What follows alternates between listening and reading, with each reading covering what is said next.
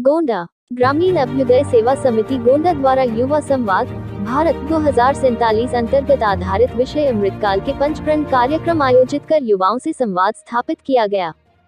कार्यक्रम का शुभारंभ बतौर मुख्यातिथि राजेंद्र प्रताप सिंह, गुड्डू सिंह प्रयास, संस्था प्रबंधक देशराज सिंह व धीरेन्द्र प्रताप सिंह, धीरू सिंह ने दीप प्रज्वलित कर माँ सरस्वती जी एवं स्वामी विवेकानंद जी के चित्र पर पुष्पार्पित कर किया। तत्पश्चात अतिथियों को स्मृति चिन्ह व अन्न वस्त्र देकर सम्मानित किया गया। बतौर मुख्यातिथि बेलसर के ब्लॉक प्रमुख राजेंद्र प्रताप सिंह, गुड्डू सिंह परास, ने देश के यशस्वी प्रधानमंत्री जी द्वारा भारत को विकसित राष्ट्र बनाने हेतु किए जा रहे प्रयासों पर चर्चा करते हुए उपस्थित युवाओं से अमृतकाल के पंच प्रण पर संवाद स्थापित करते हुए उपस्थित युवाओं को संबोधित करते हुए प्रधानमंत्री जी द्वारा किए जा रहे मन की बात कार्यक्रम पर देश को विकसित करने पर परिचर्चा की। इसी प्रकार जिला संस्था के प्रबंधक देशराज सिंह ने उपस्थित युवा अंशिका सिंह, महक सिंह, निखिल, योगेश प्रताप, आनंद, मानस सिंह एवं आशीष शर्मा से संवाद करते हुए गुलामी के किसी भी प्रकार की दास्ता से मुक्त होकर अपने लक्ष्य की ओर अग्रसर होने पर चर्चा की। कार्यक्रम को संबोधित करते हुए संदर्भदाता शिवाकांत मिश्रा, विद्रोही, ने महाराणा प्रताप जैसे महान हस्तियों की उपमा देते हुए विकसित भारत के निर्माण हेतु युवाओं को जागरूक किया। श्रीमती नीलम सिंह ने गुलामी की हर सोच से मुक्ति की बात कही। आर जे शुक्ला ने अमृतकाल के पंचप्रण के अंतर्गत विरासत का महत्व बताते हुए अपने पैतृक द्वारा प्राप्त संस्कृति को अपने जीवन शैली में जोड़ने की बात कहते हुए देश की विरासत पर गर्व करने की अपील की। धीरेन्द्र प्रताप सिंह धीरू ने विभिन्न धर्मों व भाषाओं के साथ साथ एकता व एकजुटता पर ज़ोर दिया।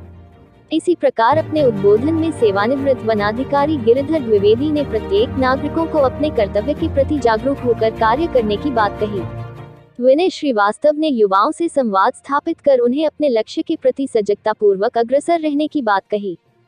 जिला प्रशिक्षक रजनीकांत तिवारी ने उपस्थित युवाओं से चर्चा, परिचर्या करते हुए कहा कि युवा अपने कर्तव्यों के प्रति जागरूक होकर अपने समाज का उत्थान करने में अपनी भूमिका तय करें।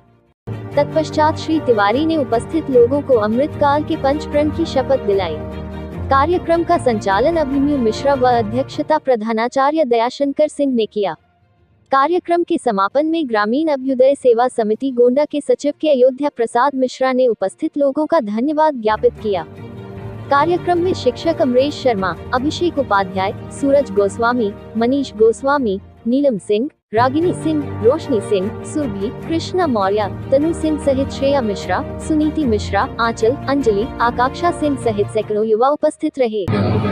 लेकिन खाली हमारे इतिहास को चोट पहुँचाने के लिए, इन लोगों को थोड़ा सा ऊपर रखने के लिए, आज मैं दिल्ली जाता हूँ। खैर, माननीय प्रधानमंत्री जी ने या इस सरकार ने काफ़ी रोडों का नाम चेंज किया है।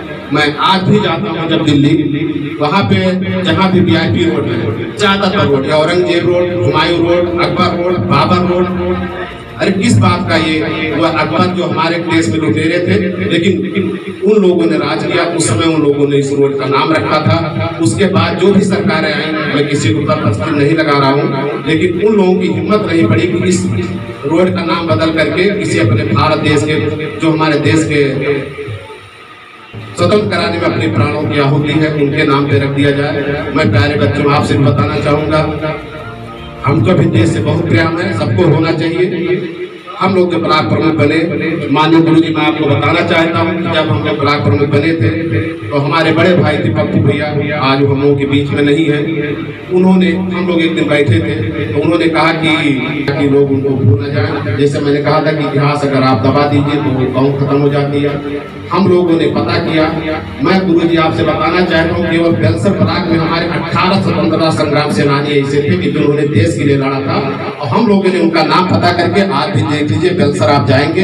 हम लोगों ने उनका शिलापट पे नाम लिखवाया है। अभी मैंने उसमें पाँच लाख रुपया खर्च करके उसका थोड़ा सौंदर्यकरण कराया है। टाइल्स लगवाया सनमाइका लगवाया है। ताकि हमारे बच्चे उनका नाम जाने। वो हमारे बीच के, हमारे परिवार कोई उमरी का है, कोई बरौली के हैं, कुछ हमारे जबर नगर के हैं, समरी के भी हैं, इनका नाम एकदम से नहीं जानते थे। मैं चाहूँगा बच्चे अगर जाएँ तो शिलापट में सबका नाम लिखा है। नाम लिखने में लेट होगा, आप मोबाइल लेकर उनका फ़ोटो खींच लीजिए। कम से कम उसमें नाम भी लिखा है किस ग्राम सभा के हैं, ये सब लिखा हमारे जबलनगर में एक स्वतंत्रता संग्राम सेनानी थे।